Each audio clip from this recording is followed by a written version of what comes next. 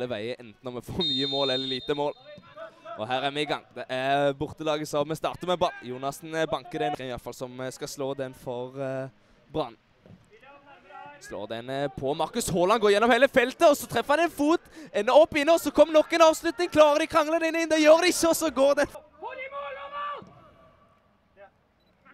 Godt slått, treff etter varetode, og så er det en retur, og der sitter den fra Torben Dvergsdal. Da stemte altså det med død. Mot uh, Martin Helland.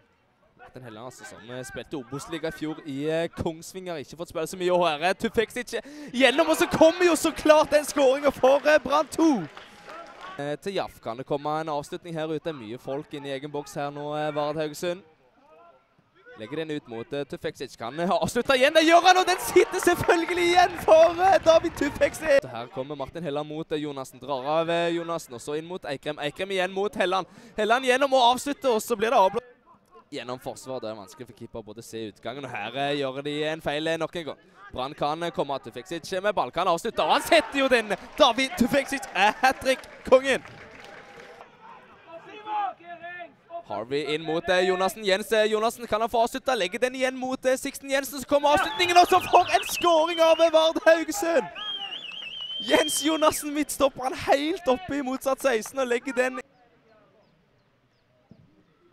Slår den eh, bra. Går faktisk på hodet til Markus Haaland. Haaland får avslutta i Emil Jaff er veldig god teknisk. Drar seg enkelt forbi Harvey der. Jaff igjen mot eh, Sivert Helgesen. Helgesen er ikke den sterkeste på tempo. Jaff avslutter, og så er det Markus Haaland på returen!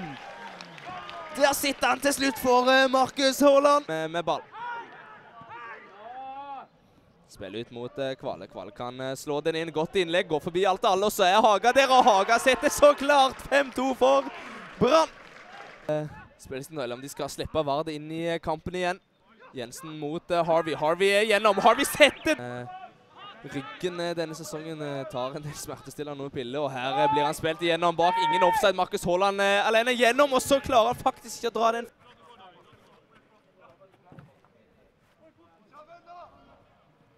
Og så er det en kjempetabbe av Sånn. Tar med seg Jaff på venstre. Emil Jaff med ball. Velger å gå inn. Avslutter Emil Jaff. For en avslutning, og så går han i tverrlegger.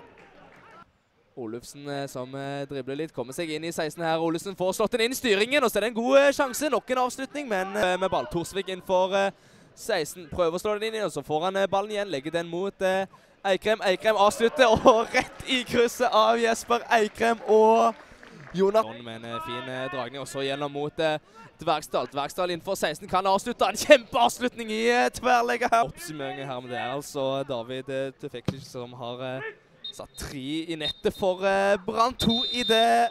Bruvik blåser av. Det